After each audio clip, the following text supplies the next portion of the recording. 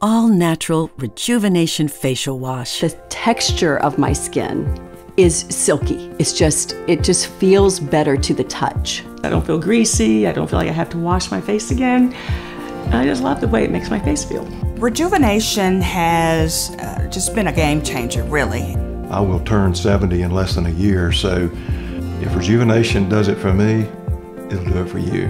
Order today at rej214.com.